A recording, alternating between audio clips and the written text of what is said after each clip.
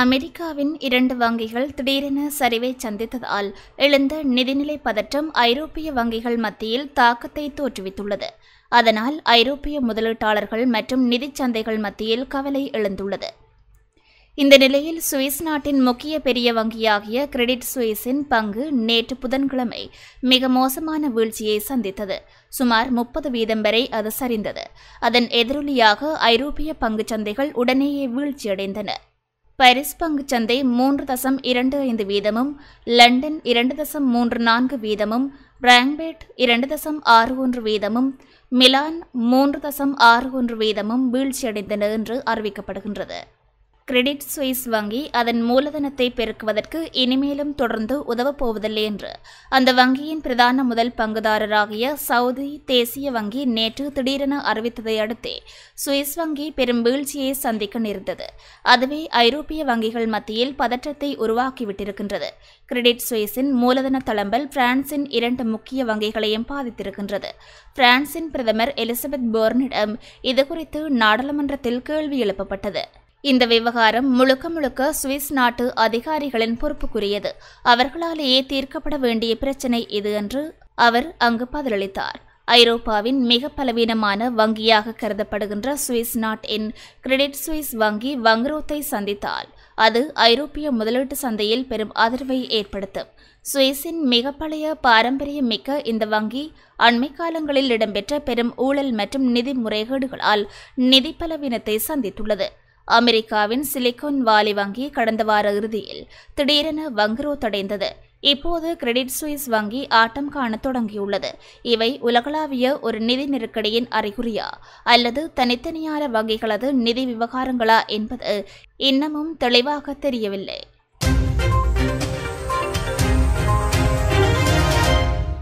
கடுமையான நிலநடுக்கத்தால் பாதிக்கப்பட்ட துருக்கியின் பல பகுதிகள் திடீர் வெள்ளத்தால் தற்போது கடுமையாக பாதிக்கப்பட்டுள்ளன. வெள்ளம் காரணமாக பதினான்கு பேர் உயிரிழந்துள்ளனர் என வெளிநாட்டு ஊடகங்கள் செய்தி வெளியிட்டுள்ளன. நிலநடுக்கத்தால் வீடுகளை இழந்து கூடாரங்களிலும் தற்காலிக கொள்கலன் வீடுகளிலும் தங்கியிருந்த மக்கள் வெள்ளத்தால் பெரிதும் பாதிக்கப்பட்டுள்ளனர். கடந்த மாதம் துருக்கியில் ஏற்பட்ட ஏழு தசம் எட்டு ரிஸ்டர் உள்ளிட்ட தொடர் நிலநடுக்கங்களில் சுமார் நாற்பத்தி எட்டாயிரம் பேர் உயிரிழந்துள்ளனர். கருங்கடலில் விழுந்து நொறுங்கிய அமெரிக்க ஆளில்லா விமானத்தின் எச்சங்களை கண்டுபிடிக்க முயற்சிப்பதாக ரஷ்யா தெரிவித்துள்ளது. குறித்த எச்சங்களை கண்டுபிடிக்க முடியுமா இல்லையா என்பது தனக்கு தெரியவில்லை என்றாலும் அதற்கான முயற்சிகள் முடுக்கிவிடப்பட்டுள்ளதாக ரஷ்ய பாதுகாப்பு சபையின் செயலாளர் நிகோலாய் பட்ருசேவ் தெரிவித்துள்ளார். மேலும் கருங்கடலில் ஆளில்லா விமானம் இருப்பது அமெரிக்கா நேரடியாக போரில் ஈடுபட்டது என்பதை உறுதிப்படுத்துவதாகவும் அவர் கூறினார்.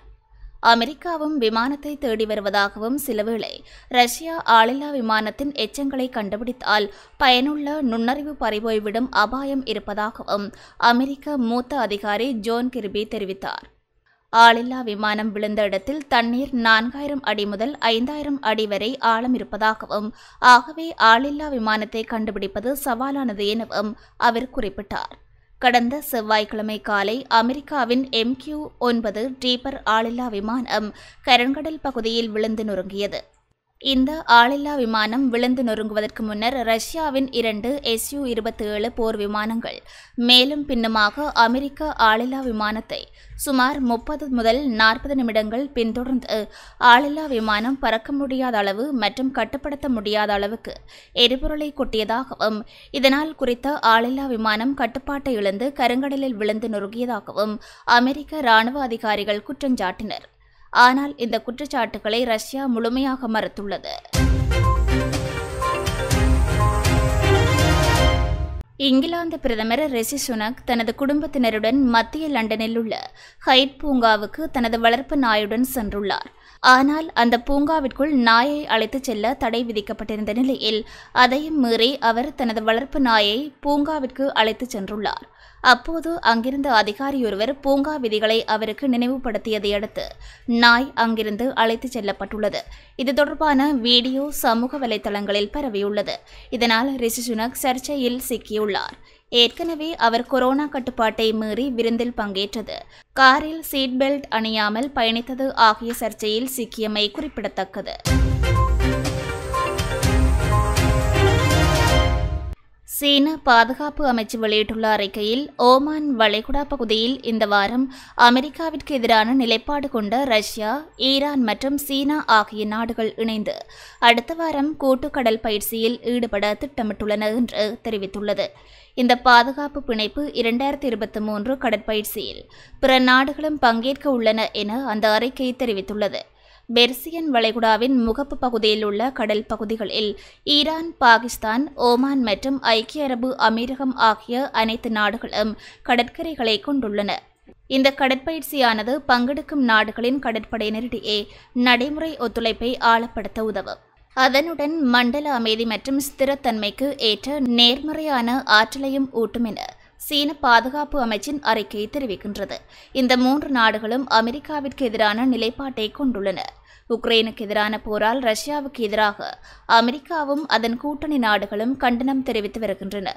உக்ரைனுக்கு ஆயுத உதவியும் செய்து வருகின்றன. ரஷ்யாவுக்கு எதிரான விமர்சனங்களை வெளிப்படுத்த சீனா மறுத்து வருகின்றது. இந்த விவகாரங்கள் உட்பட சீனாவுக்கு எதிராக பல்வேறு விடயங்களில் அமெரிக்கா எதிரான நிலைப்பாட்டை கொண்டுள்ளது. ரஷ்யாவுக்கு உதவக்கூடாது என சீனாவிற்கு எச்சரிக்கையும் விடுத்துள்ளது.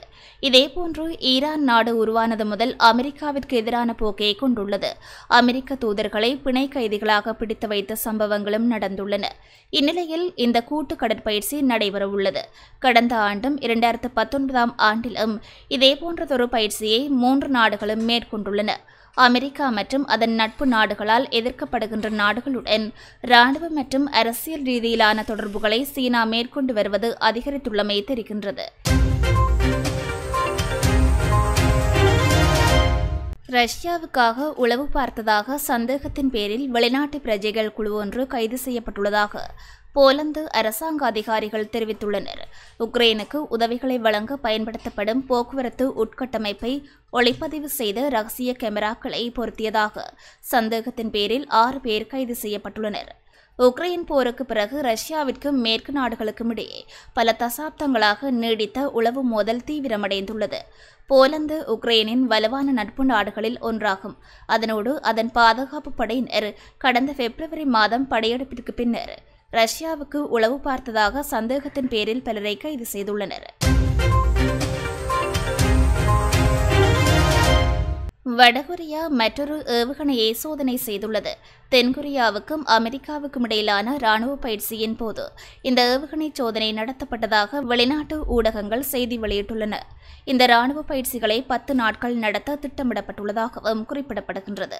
சில நாட்களுக்கு முன்னர் வடகொரியா இரண்டு குறுகிய தூர ஏவுகணைகளை சோதனை செய்திருந்தமை என்பதும் குறிப்பிடத்தக்கது.